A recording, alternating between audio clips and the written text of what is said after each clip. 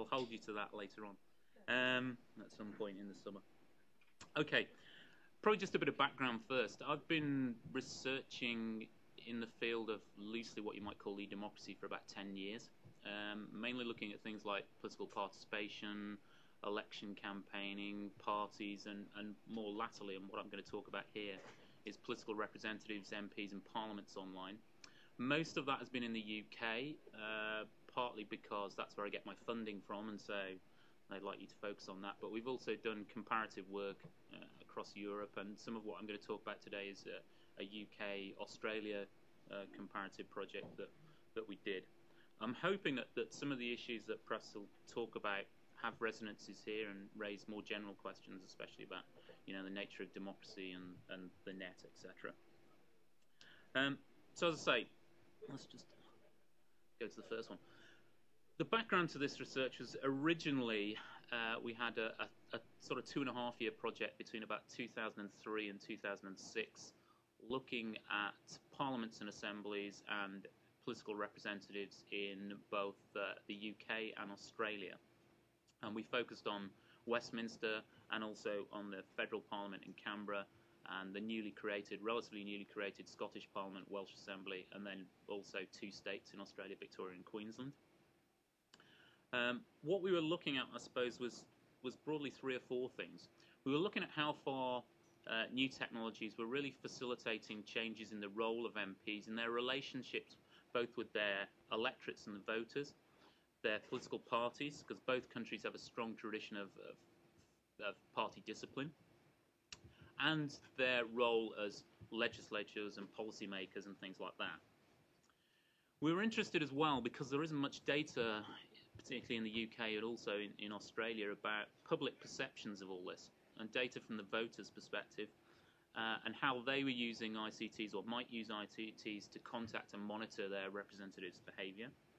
And then bigger, broader questions, we wanted to just look at comparatively what was going on. What are the sort of factors that shape patterns of uh, usage and behaviour online? And what, in some sense, is the big, broad, woolly question, which I'll, I'll finish on, is well, what, what's happening to representative democracy? I'm not sure I know the answer to that, but maybe, maybe you've got some answers to that as well. The methods we used very quickly were a range of things. Um, we've done around about 100 interviews now with MPs, parliamentary staff, um, you know, uh, political representative staff. I'm just engaging in another round now between 2003 and 2008. Uh, we've also done surveys of uh, MPs' online presence, so a bit of content feature analysis of their websites and more latterly again blogs and social network sites. And again, we've done that on. Well, we did that in 2003. We repeated it in 2005, and I'm updating it again now. Um, I have to say that looking at, at, political representatives' websites sends you completely insane after a while. Eh? Originally, there was three of us doing this, and I'm updating it by myself, and it's like going through about 500, 600 sites my brain gets a bit fuzzy after a while looking at these things. Um, from the public perspective, we also use standard pretty public opinion survey uh, data in 2005 and 2006. So we did a couple of surveys and we did some focus groups as well. So that's really the sort of background. Let's go on and, and just try and, and, what I'm trying to do here is, is summarize sort of five years work into sort of three PowerPoint slides, which is, is good practice but hard work for an academic, really, because you know, we like to talk for hours and hours. So. Uh, but I'll try and just make some basic points here. We'd gone with the expectation that there might actually be more interesting things going on in Australia than there was in the UK. And the reason we expected that was because the literature said that's what was happening, and we also thought that the geography of Australia might make a difference. You know, you've got um, MPs out there with uh, constituencies which span thousands of miles with hardly any population, we thought there might be some drivers there for them to use the technology uh, innovatively. In fact, what we found was there wasn't a huge amount of differences between what you might call individual representatives in either of the countries, and indeed, there was probably less innovation in Australia than there was in the UK, and I'll say more about why that might be the case later on. There's some pretty standard patterns, though, and I'll just highlight some of these. First of all, the growth of what you might call personalized online presence, in other words, their own websites, their own blogs, these sorts of things, was relatively slow. Um, they first started around the mid 1990s, and yet even now, 2008, you've got around about a quarter, maybe even a third of MPs in Westminster Parliament don't really have an online presence. Um, there's some characteristics to those MPs as well. They tend to be older. They tend to have been in Parliament quite a long time. They tend to have constituencies which are not electorally competitive. In other words, they're not under a lot of threat. So the incentives for them to set up an online presence is perhaps less. Same message again in largely in Australia as well, I think, to a certain extent.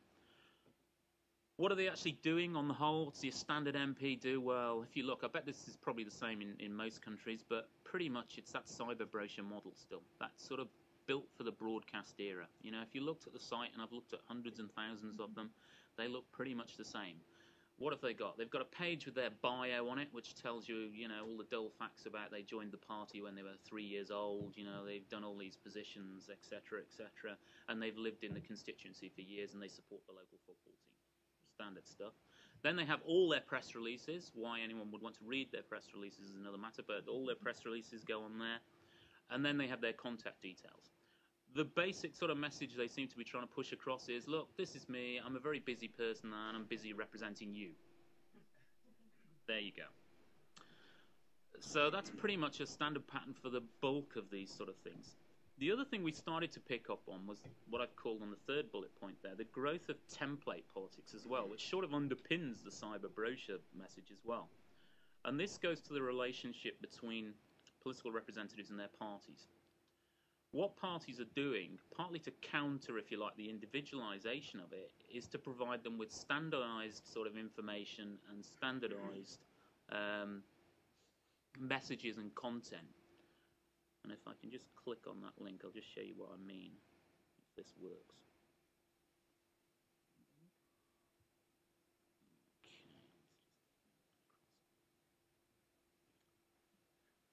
This is a templated site of my, well, she's not my local MP because I actually live in Salford, but it's, it's where the university is based. Um, around about a third of the governing Labour Party MPs have a site which is more or less exactly the same as this. So in other words, it has pretty much the, the standard thing. It has this little map and it has, you know, out and about. It has all these things down the side. And all they do is put a bit of personalised information in. So they can personalise it to a certain extent. But largely, once you've looked at one, you've looked at a hundred of them. They're pretty much the same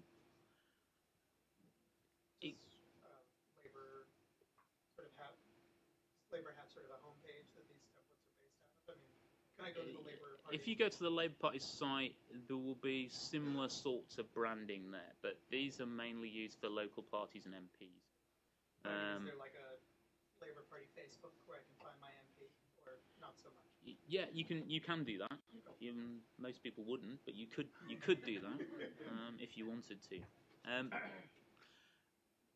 so what you've got is these templated sites, and, and, the same thing to a lesser degree in Australia as well. We came across, you know, so what you've got is standard profession. They look professional. Let's face it, most people are not going to look at 600 sites, are they? Going to look at maybe one if they look at any at all. So they're not going to see them all. So they look sort of professional, but it's a good means of the party at least exerting some degree of control over the content.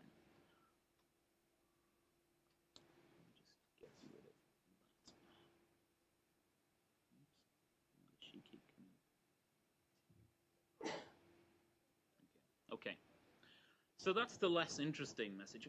What you've also got, though, is the growth of a small group of um, representatives who you might call, this is a cliche term, sorry, but you know, the Web 2.0 politician. Um, and it's not only about their use of technology, it's also about their attitude to their role as well. So they tend to use the technology, they tend to use blogs, and they've started to use social networks, and they tend to use, you know, those sort of those sort of tools and the interactive communication tool. But they also think slightly differently about their role as an MP as well. And so some of them, when we did the interviews, talked interestingly about no longer seeing themselves as this sort of hierarchical figure where people came to for advice and help, but being part of a hub or part of a network where they didn't necessarily know all the answers, but they could maybe help direct people to other people who would, and that they were part of this sort of networked idea.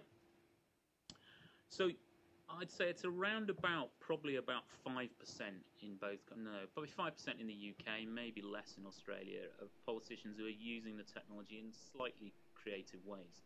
Um, I'm wondering whether, for time purposes, I'm gonna. I'd quite like to show web Cameron. I know I showed it to a few people yesterday. I'd quite like to show a clip of that, but maybe I'll leave that till the end. Or do you want to see it now?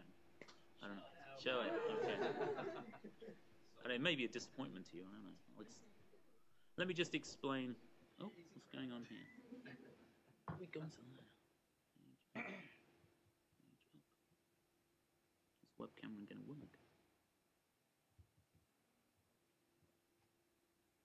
Yeah. Uh, David Cameron is the relatively new and young leader of the Conservative Party, the main opposition party in the UK. Nobody knew much about David, or Dave as he started calling himself as well, which is sort of interesting. Um,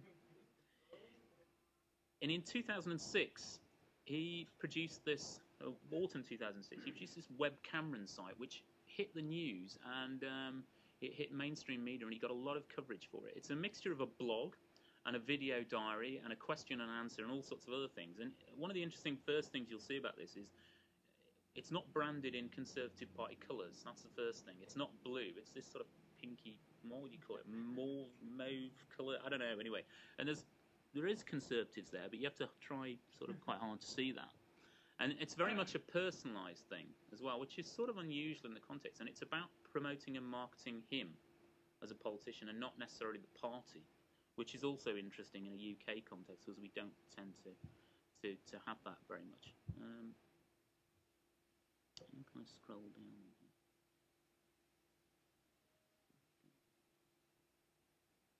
Let me see if I can find the very yeah. Here we go. This is the very first one. I don't know whether you can. I don't know what the sound will be like on this or anything, but you you get if you get an idea. Sound. I'll, I'll turn the sound up in a minute. Uh, just to say two words about this before it starts. This is the very first. This is the introduction to web Cameron. It's his first one. Now, it is either completely spontaneous or it's a complete mastery of uh, marketing, and I'll let you decide which one. If it, that's not the one, is it? No, it's gone into the wrong. Sorry, it's gone into the wrong one. Yeah. Yeah. It should be very. Can I?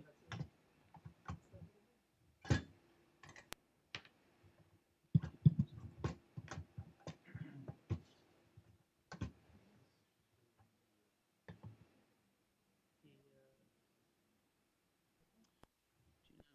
get down to get down to that.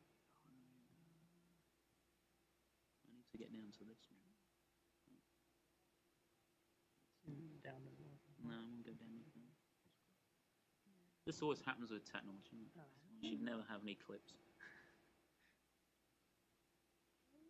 review and then interesting in this one.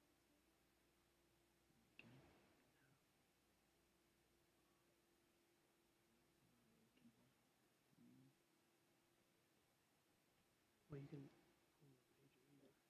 Yeah, I need to. Yeah, but it's the wrong video. video When I played a different one, we can't seem to get there. It play, when I did that, it played this one. Yeah, here we go. Uh, what's going on here? Well, watch BBC and ITV, you know, we're coming after you. This is, I think, a really good way of communicating directly with people about what the Conservative Party is doing, what we believe in. What do you want to do? Wash your hands. In a minute. Can we just do this in a minute? Um, where was I? Right, we want to communicate directly. We want to tell you what the Conservative Party is doing, what we're up to, give you behind the scenes access so you can actually see what uh, the policies we're developing, the things that we're doing, and have that direct link. Because I'm really keen that we can communicate with people properly. So this is webcam. This is the oh, web Cameron. Sorry. This is the opening piece. Today I'm going to be talking about clean politics and um, telling you about the announcement we're making later today. Uh, we're going to have some great interviews on this um, service, John McCain, coming exclusively to you on our website, and lots of behind the scenes um, footage at the conference. But today, we've still got a couple of days to go before the conference, doing a lot of work on speeches and policies and preparation. But right now, I'm going to wash up the porridge. Uh, I should say that it nobody knew very much about Cameron, at least amongst the general public. The, only thing they're likely to know is that he went to Eton, which is our top public school, and he has this reputation of being incredibly, incredibly posh. And so uh, this whole exercise here looks looks very much like you know you, you ca the kids interrupt him. You can see the baby in the background. And it's, he's doing the washing up. It's like I don't have a butler. Um, I haven't got servants, and I'm really a modern guy. So although it's different, it's also a, it's also a, a mastery of sort of I think you know modern political marketing. But it's just nice. And web Cameron has also been copied around Europe as well. So there's there's various web Camerons cropping up. The other thing I think that it's worth saying is that one of the things that politicians increasingly are doing is basically monitoring their post bags. Not just the email they get in, but also the regular mail, and putting everything into databases and sorting and monitoring. And all this is about targeting and marketing and building up some sort of relationship with their electorate. Now, if they're getting thousands and thousands of communications a week, but increasingly what they're looking at is, like I say, harvesting that information and then setting up um, a channel of online communication, usually via email, with those people and with their constituents. So that they know that when someone writes to them on, uh, let's say, fisheries policy, they know that that person will be interested if they've got something to say about fish, you know? And they can do this in a sort of targeted way. And that's really what they're interested in. They're more interested in the technology as that sort of marketing uh, and targeting exercise, especially for incumbent sitting MPs. Okay, what underlies this? This is not scientific, right? Uh, we did these interviews. We did, you know, probably there's probably about 70 or 80 interviews with uh, political representatives, and I tried to pick out the standard sort of responses that you'd get in terms of what uh, what ICTs could do for them and what ICTs were doing for democracy. Now, it's fair to say that most politicians don't have a thought. If you ask them, the first when we asked them about, you know, what what do you think the internet's doing in terms of democracy? What's it doing in terms of your role? They sort of sat there and looked rather puzzled because a lot of them, well, a lot of them don't use it first of all, and the ones that do haven't really thought about why they're using it. But you could see sort of five sort of classic responses, and this is in no way scientific, but there's administrative modernizers, and I put some quotes underneath just to illustrate the sort of things that, that, that I'm meaning here. Um, they tended to talk about the technology in terms of efficiency gains, not in terms of democracy. It's about, you know, can I do things more quickly? Can I do more work? You know, how do the how do the tools help me, you know, get through the day? So there's a quote underneath there.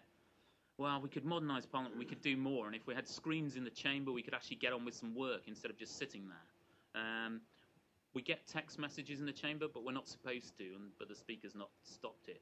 That's how antiquated we are. So it's partly about this modernisation agenda.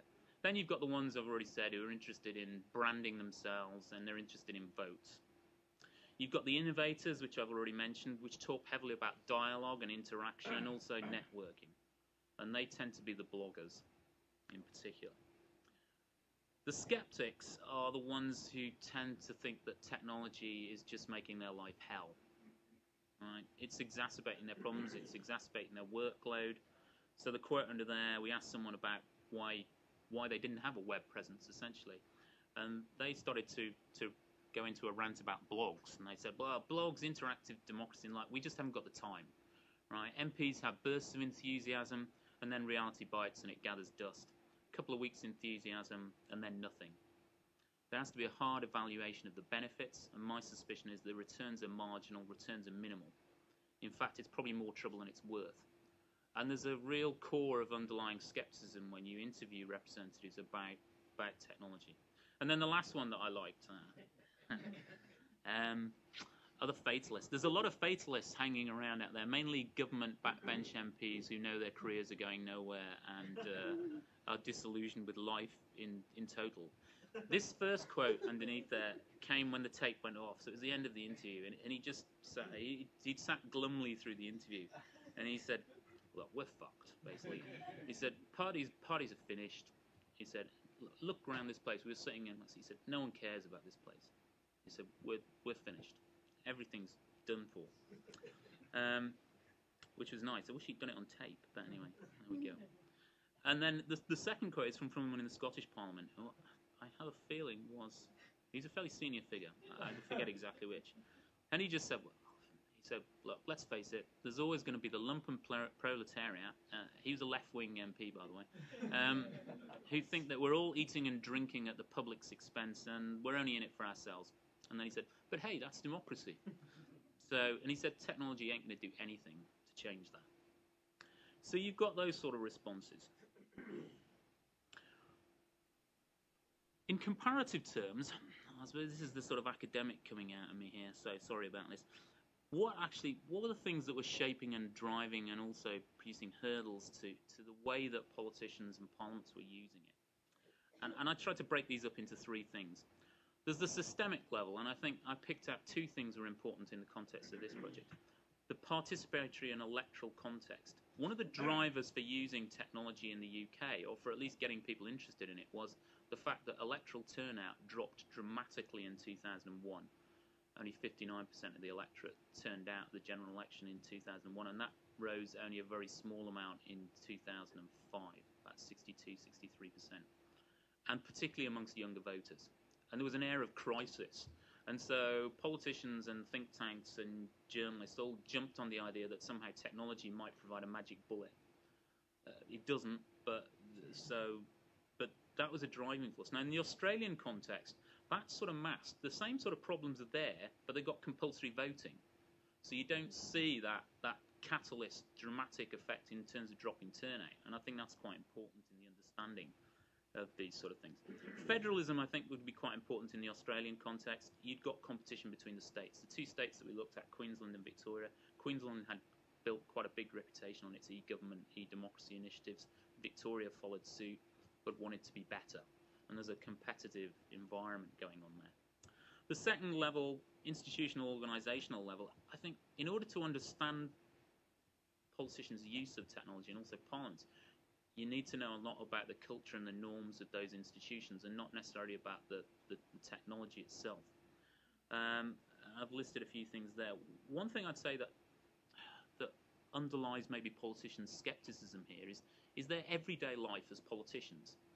Uh, and maybe it's going to take a whole generational change to, to shift this, but as politicians, they're not desk bound. So a lot of them don't sit with a computer very much, apart from maybe on a train if they're going somewhere, they might have a laptop. They spend their time going to meetings. The way they've been brought up, even before being an MP, is to go to party meetings, is to knock on doors, is to do the public face to face stuff, kissing babies, all that sort of stuff. That's what they value face to face is the ultimate. Technology, they're not really that interested and they don't use it that much. The staff are the ones that use it for them. Um, and so the everyday culture is not built around technology. It's not built around. You know, I have to think about that because I'm always, you know, fiddling about with a laptop or a computer. They're not. They don't do much of that. Um, I'll just say one little anecdote, and this is coming out in Australia. Australia. There's no Australians here, are there? Okay. Well, apologies if I attempt a very bad Australian accent, but I did this interview, and uh, it was in Queensland, I think, and uh, the politician said to me, um, "We're talking about technology," and he said, "Ah, geez, mate," he said, "Technology." He said, "No," he said, "I like to see the whites of their eyes." I want to debate with people. I don't want to look through a screen or touch a keyboard. And there's this sort of, uh, it, I have to say that in Australia it does fulfill certain of the cliches. There's a macho element to it, you know, about I really want to debate, but I want to debate physically with someone, not through a through a computer. I'm not going to go into to, to all of these because we haven't got time, but but in the UK, one of the things that distinguished it from Australia was the external scrutiny. The federal level in Australia, I have to say, there wasn't much going on, and they weren't under much pressure to do much. In the UK, you've got um, mySociety, which is an interesting organisation. I think some people, John Palfrey is not here, will know Tom Steinberg of mySociety quite well. Lots of initiatives from them. We can look at those after I've finished talking if you want, look at some of those. To pressurise MPs to do things online, but also to scrutinise what MPs are doing. And the Hansard Society also giving assistance to MPs if they wanted to blog, if they wanted to do things. So there was real sort of there was assistance there if they wanted it, but there was also scrutiny and pressure to do it, which didn't exist at the same level, certainly not at the federal level. And then at the individual level, what's important to MPs? constituency environment. If they're in a marginal constituency with high levels of internet access, you can be sure they would make use of the tools. If they weren't, if they were in a safe constituency where their majority is quite large, and you know maybe they didn't have a large amount of students in the constituency who are often a driver for using the technology, they wouldn't make much use of it. What that does is underpins a sort of digital divide in terms of representation. I'm not going to say too much more about those. Let's just get on to the last couple of slides. So, what's the public's response about this? As I say, we did survey and uh, we did we did also focus group work um, in the UK and Australia. Uh, just to give the basics, online contacting and visiting MPs' websites and blogs and all time is pretty low. I think the figures for the UK was something like about 3% of the public had ever visited an MP's site. I think 5% had been to the Parliament's main site. In Australia, it's significantly bigger. Maybe that's to do with geography, I'm not quite sure. Um, something like three times as big as the UK. But it is growing, and it's growing amongst young people, partly because of education and use in schools prompting them to go. They, they wouldn't go off their own bat, but they have to go through school. So there, there's some of that. What was interesting in the focus groups was, though, that the expectations and interest in online communication and appeared quite high. So they expected politicians to be doing quite a lot. And um, they expected that politicians should have websites and should be doing and should be interacting and should be accessible. But it was a mainly sort of consumeristic approach. They weren't necessarily interested in visiting it, particularly if they had a problem, they might do it. If they wanted something, they might do it. The other thing to say about it was that online communication they thought was very useful, and the internet was very useful, and it was going to be useful to democracy, but not for them. It was always for other people. So particularly, they, they also, if you the focus groups there, they'd also, oh, it's going to be useful for young people. But then the young people also say, well, it's not going to be useful. It's going to be useful for those people who are interested, in, you know, those middle-aged, sad political anoraks who want to look at it, like like me, basically. Um, so it was always useful, but useful for other people, never directly themselves. The people who use it the most, and this will come as no surprise, I'm, I'm sure to you, are of course the ones who contact their MPs online, the ones who read the sites, the ones who engage politically online were the ones who are politically interested already, the politically engaged already. They did tended to be maybe 30s to mid 40s. They did to be middle class professionals. They're the online engaged. That sounds like again that I'm describing myself. You know, it's a sort of male middle class professional in his sort of 30s to early 40s. The danger that MPs felt about this was that you're simply exacerbating again the participation gaps. That unless you use the technology creatively, you're simply going to amplify the voices of those who are already prominent within the system. The last point I'd say is that the parliamentary and technological environment matters. So, for instance, in Australia, there's real problems with broadband in, in you know very rural areas. Now, it's quite clear that once you switch over to broadband, people do a lot more things online. Um, they go to a lot more places, they use it for longer, not surprising there, and that matters. And let me do my very last slide because I know I'm in danger of talking too long. What does all this mean? i am still trying to puzzle after quite a long time about what, what all this adds up to, what's, what's there.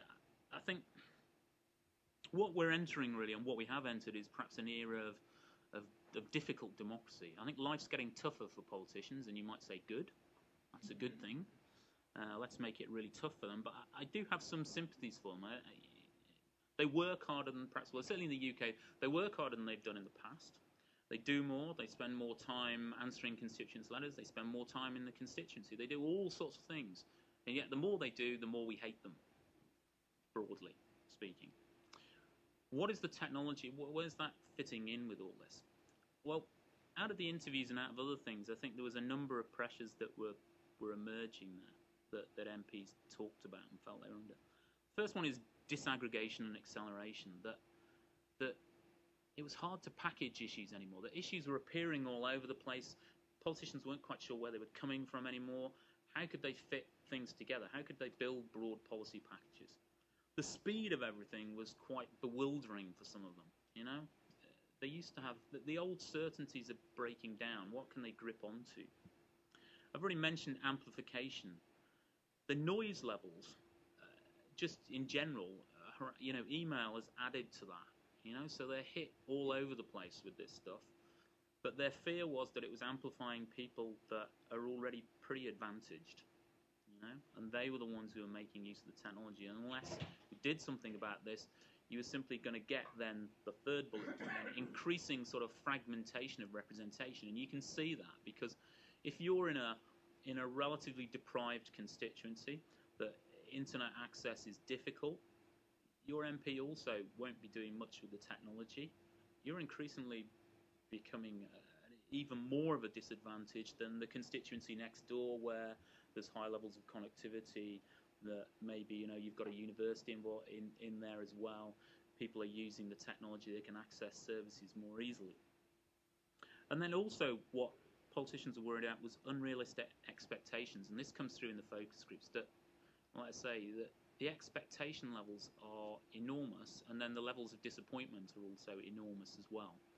And that there is a feeling that maybe the technology might add to that the potential remains, I think, there, just because I don't want to finish too depressingly, so I've got to say that the potential does remain there. And Stephen Coleman has, has talked quite a lot, one of my former colleagues at the Oxford Internet Institute, about conversational democracy. And there is some potential, I think, there to make a more continuous sort of representation, that it's not just about election periods where politicians talk to the electorate, which is one of the common complaints. You know, that you can now have a dialogue over a longer period of time. You can have a conversation. Potentially, that policymakers can make themselves more informed and more aware, but equally, the public can be more informed and more aware of possibly what, you know, what are the restraints and restrictions on politicians as well. The potential is there to do that, but as I say, the hurdles are pretty huge um, in terms of doing that. But as I say, I'm, I'm still puzzling in, in part about what it all means, and I think that's a good place to stop. Thank you.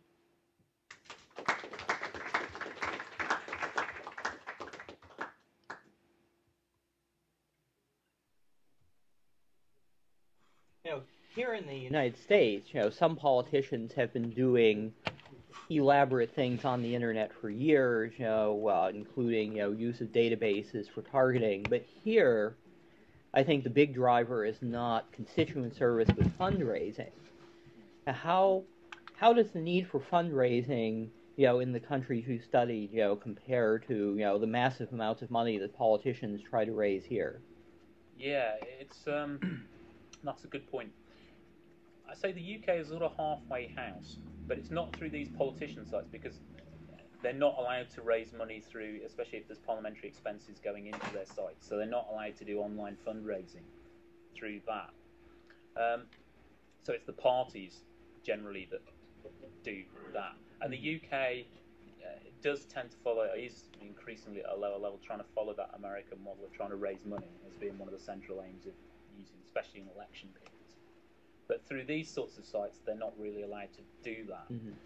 Other countries, Australia, again, to a lesser degree, if you go to continental Europe, for instance, where there's state funding for parties, you don't see this at all. Mm. Funding's not, not necessarily much of an issue. So you can see you can see the way that, for instance, political that's a good example of the way that political rules and systemic rules have an influence on what they do online. Mhm. But the UK parties now will be looking very closely at what McCain, Obama, and Clinton are doing in terms of because that's where they get their lessons from. So the UK is always seen as a sort of halfway house Mhm. follower to the to the US.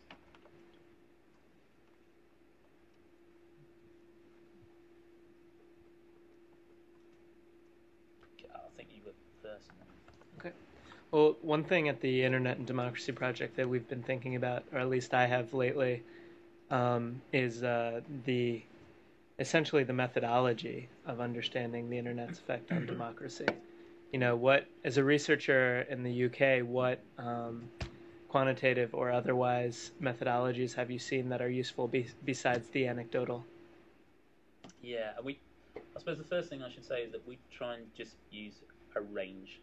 Is it is triangulation? That's a sort of horrible word, isn't it? Sorry. Um, in terms of quant, I'm not a quants person. The, the people I work with, Rachel Gibson and Wainer Lusoli, are the quants people on the on the on the team. So we've used the pretty the, the standard sort of quant methodologies, the survey stuff, um, and there isn't certainly in Europe. There's not a lot of quant data on internet, and, and it's a real frustration. There's not much from again u- the user perspective the wrong way to look at it. There's not much there, so we've used the standard tools.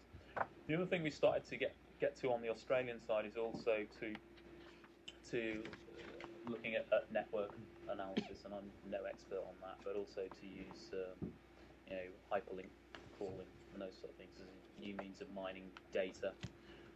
But we've gone for fairly, I, I guess, fairly standard standard methods, but we've tried to go for a range, neither quantitative nor qualitative, but a lot. What we'd really like to do, but you can never get the, in the UK, it's horrendous trying to get data out of the parties or the MPs themselves.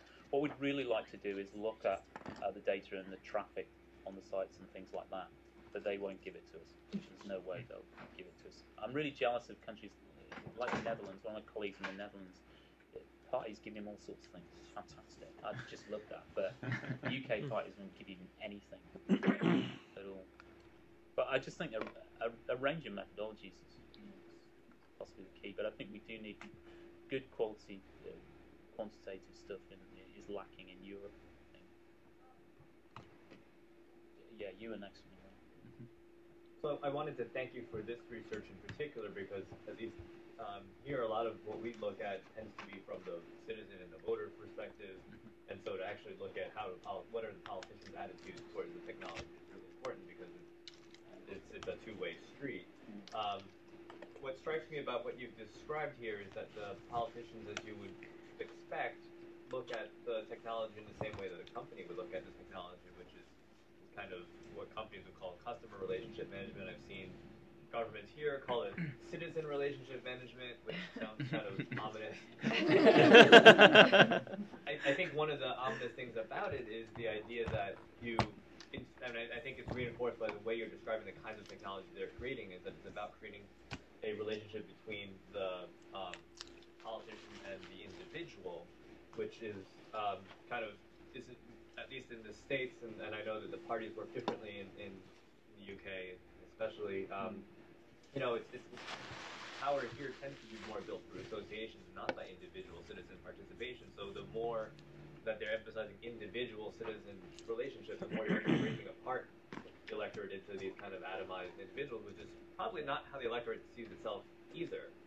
And so, to some extent, I'm wondering if if the interesting thing is going to thing that's going to be happening is going to be more how are the politicians going to take on groups at least here in the in, in the states we've got MoveOn and, and these kind of large national groups and I don't know if there's quite as much on the local level but um, is, is how are they relating to these kinds of groups of people on the, the, the web and the internet rather than individual citizens hmm. I think you're.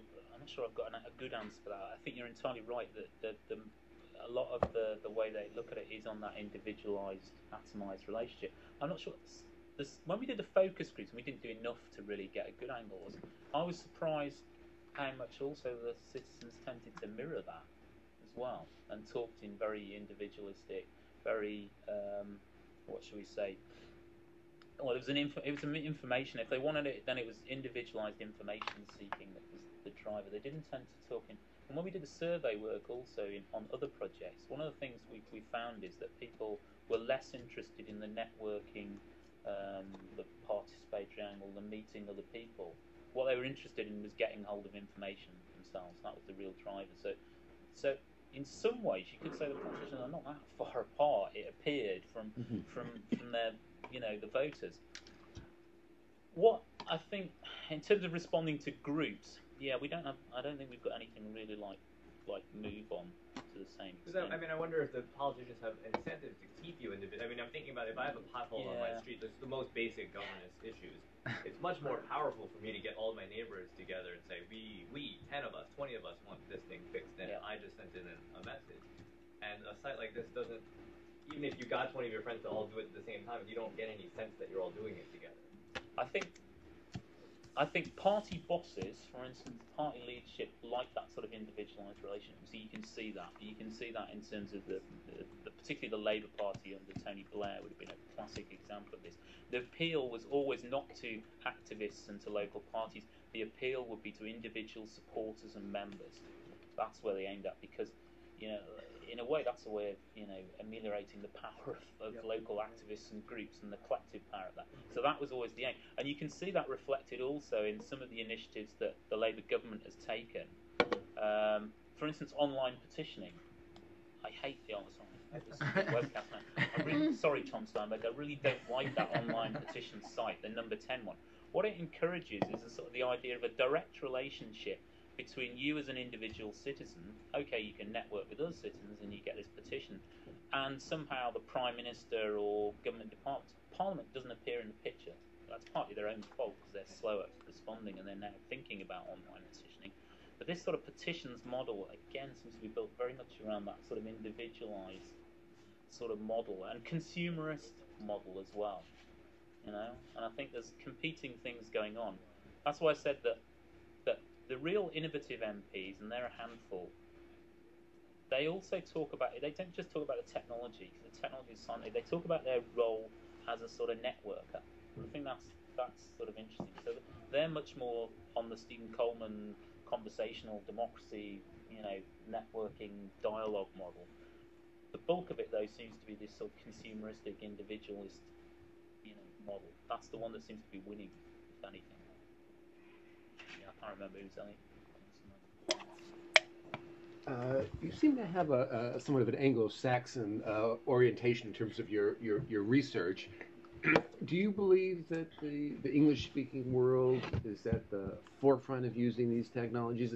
Uh, you know, I hear these dim rumblings that the new parliaments like Estonia and the Basque Parliament in Spain are the ones that really, you know, they're not bound by all their traditions. They're Exactly. they, they Yeah, think yeah, creatively that's about exactly these right. issues. Um, it, yeah, it, um, it is an Anglo-Saxon focused project, partly because it's funded Anglo-Saxon. um, no, you're right. New parliaments, um, and uh, Estonia has been one of the ones, but you can see it in a UK context. Because Scotland, in terms Scotland of would this be project, the third, project. actually. Uh, yeah. It's written in. It's written in when the Parliament Directive was mention of technology and what technology can do. Underlying that was the attitude of the Scots as well, is that we're not going to be Westminster. No. So we're not going to be Westminster, and we're not going to be like the Westminster model, and we can use technology to build a new politics. And I think that's entirely right.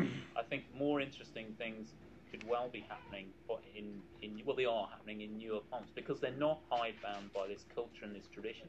Westminster is, is terrible. I'll just give you a little anecdote about which might give you an insight into Westminster.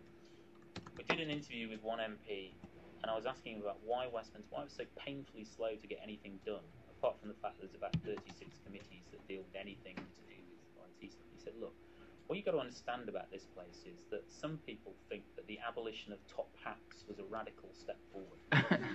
he said that explains the pace of change in this place. But you're right, where you've got new parliaments, um, and they're not hidebound by these traditions, and they can create it, and they can create, you know, and, and technology is sort of built in rather than grafted on. It's much easier. The Australian one was quite interesting though, because the, the, the federal parliament in Canberra is a relatively new parliament building, the 88, late 80s, something like that. So it, it was built sort of for the computer era, sort of, just about. But the problem there was that there was no drive to, to modernise Parliament because they felt the building was already new and they'd already, you know, it was sort of modern anyway. So they did. Whereas in Westminster, at least there was a modernisation drive which was prompting them to think about technology. So there's a sort of there's a sort of halfway house. But the thrust of your question is right, I think. Mm-hmm. I think new, new parliaments, it, it's sort of easier for them to, to, to do it because they can build it into the fabric rather than graft it on. If I could just ask one other Yeah. question, I think of the, you know, the Oxford Internet Institute and the Hansard Society as sort of major players, but I also get the sense that there's more of a tight-knit culture among people that study e-democracy in Britain than in the United States. Small world. It's a very small world. I mean, there's some of the organisations I've mentioned here. Um, we're talking about a handful of individuals. So Tom Steinberg's name keeps cropping up. All the mySociety initiatives, it's a relatively small group of people. It's the same in the academic world as well. It's the same, you know, there's a relative, I meet the same people over and over again, you know. Um, it is a small world. and um, you can see that played out. Into, and they're all gathered round London as well. That's the other thing. Um, so, What do you make of the 10 Downing Street Twitter feed? Yeah, I saw that. I haven't looked at that closely. I, I know that Twitter first has only just emerged last was it last year when the deputy leadership of the Labour Party um, campaign. They started using it. I'm not quite sure what to make of that yet. I, I think it's probably just a, at this stage, it's probably just a knee jerk. Here's a technology, let's try. Because that's often how they start. It's just, oh, it's something new, let's jump on this. I don't know. Um, to me, it's not very surprising that there wasn't a big political effect from the blogs because there was no intent to have political change. It's just about increasing the efficiency of existing systems and increasing the electability of the people that are writing these blogs. And it's not it's not really a dialogue. It's about people being able to present their message, maybe get some like advice and consent from various activists, but I mean, why why would it change anything? That would be surprising based Yeah. on its design. Except if you look in the literature, a lot of the the distance between the literature and then I, I said this yesterday, the distance between the literature and then the practical what's going on is, is enormous because you get all this hype about what it can do and people talking in very high level terms about democracy. I suppose to be fair, actually, in the, for instance, in the UK, I said after the 2001 election, when turnout dropped, there was a panic basically, uh, and people were latching onto anything there. So people did have quite initially have quite high expectations of what the technology might do. But you're right, when it gets into the real world of politics, what, what are people interested in? They're interested in much lower levels of, of uh, aspiration. It's what they can do for them. You know, can they get some votes out of this? You know, is there ways of making my life easier on a daily basis? All those sort of things.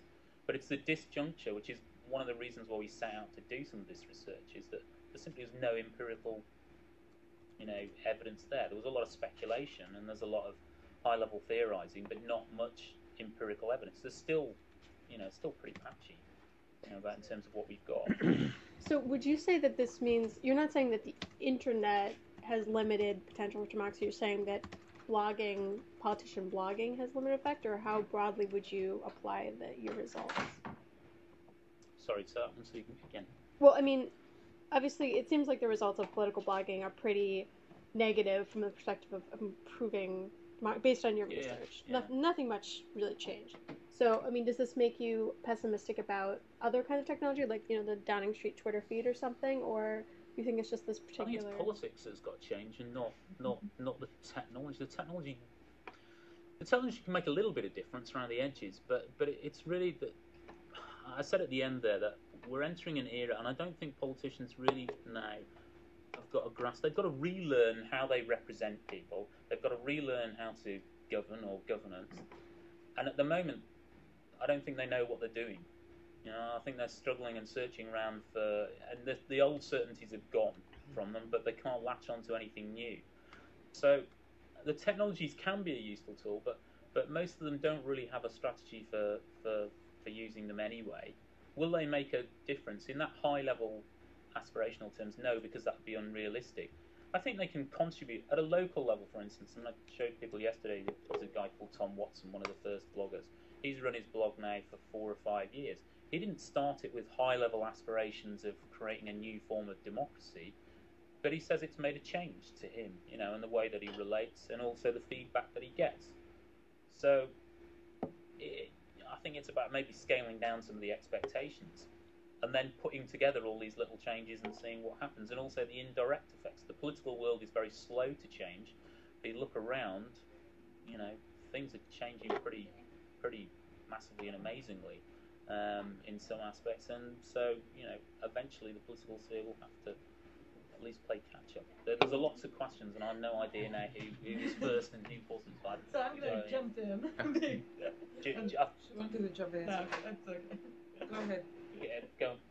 Oh, I, I just wanted to sort of try taking the focus off the politicians. If they're not going to change and don't have much incentive to change, um, can, should we force them to be more open, more transparent, so that citizens uh, have better access to the information to create the my societies and the um, and the blog posts for them that allow the public to focus around?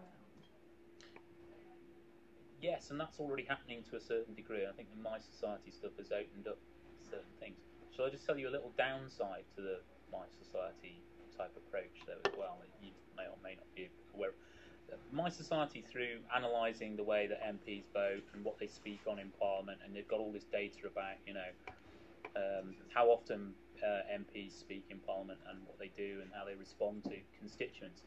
they created, I think, league tables. You know, who were the best responders, who weren't, all this sort of thing. Now, league tables, it's quite funny to see MPs being hoisted by their own petard because they like to enforce league tables on any, every other sector of the community. But the, the downside to that was people started to notice that MPs were interjecting in debates with no apparent purpose. You know, just making little, getting up, making a little comment, and sitting down.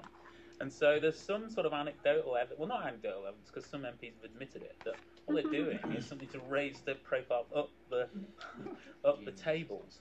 You know, so you've got to be slightly careful there. But but but yes, um, I, I have some sympathy with MPs though as well. I, I do think you know I, I do think that they you know they they make life tough for themselves, but but also they they've got a tough a tough job. But yeah, they're not going to do it of their own free will necessarily, apart from the more forward-thinking ones, possibly.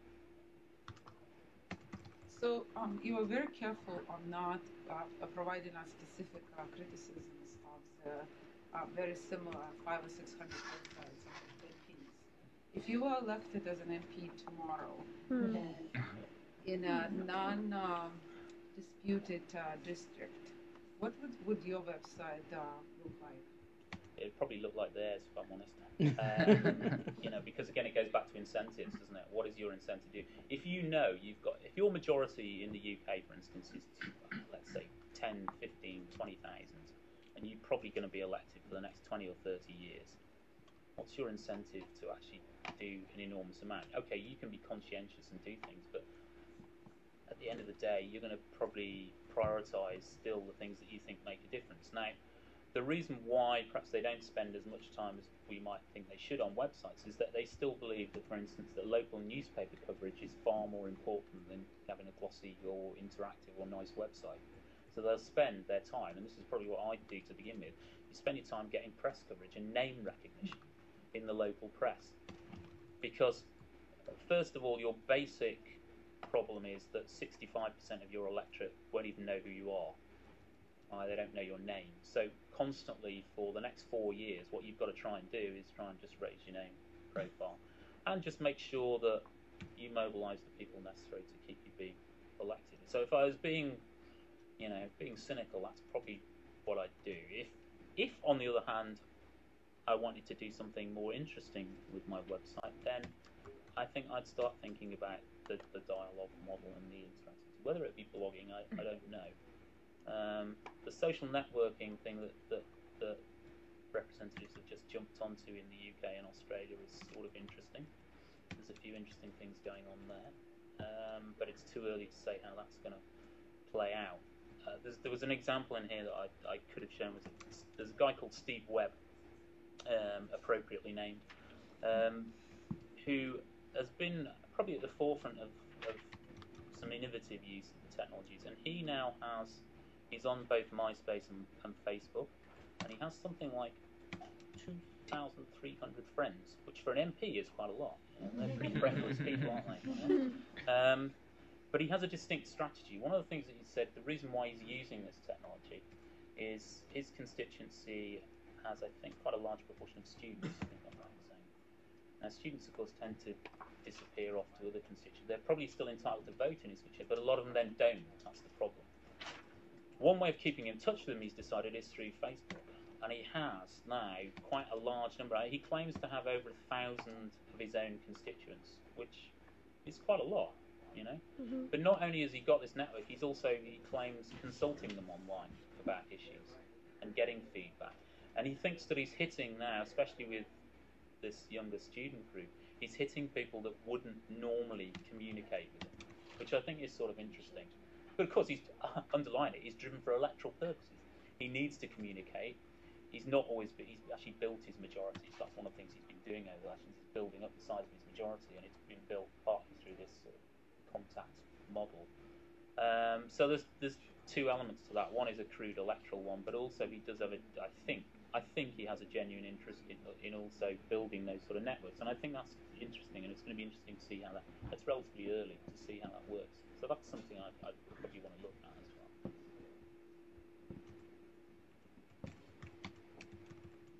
Hello. How are you?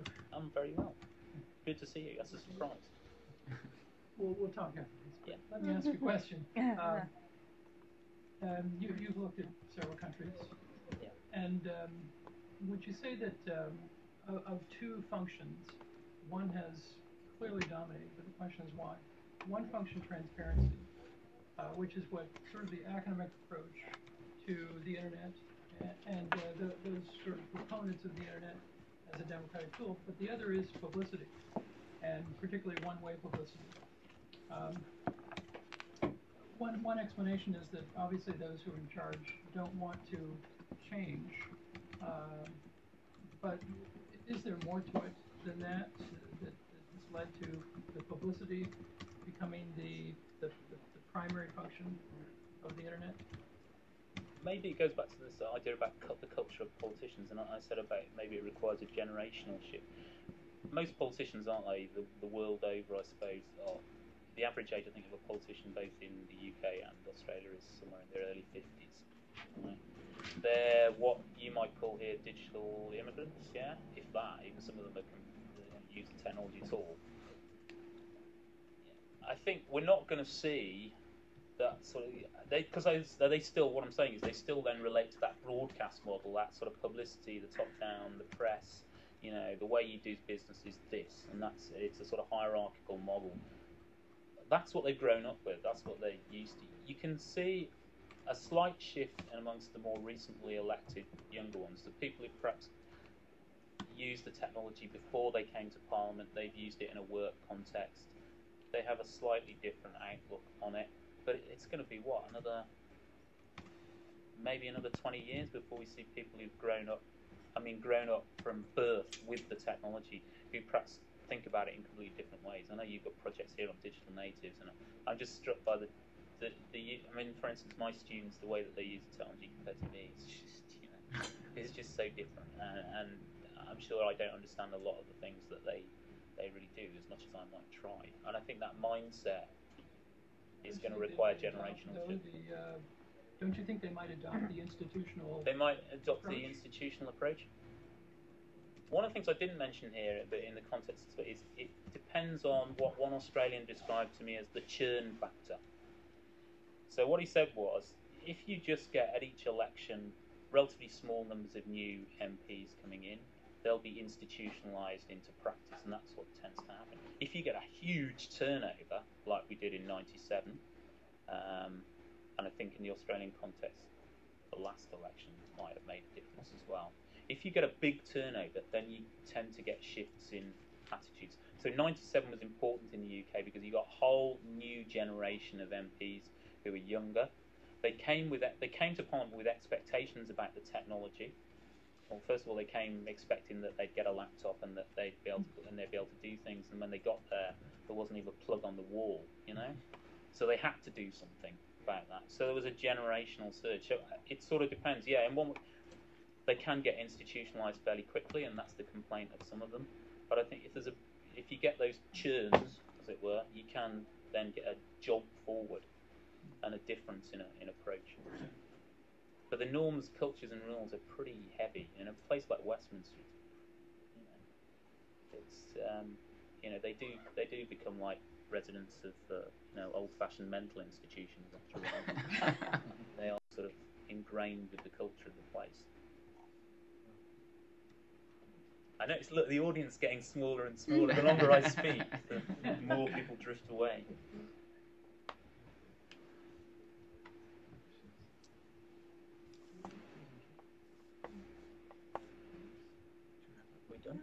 Yeah, I, I think we'll wrap it into offline conversation. if people have so you can tell us what you really think. okay, well, thank you very much.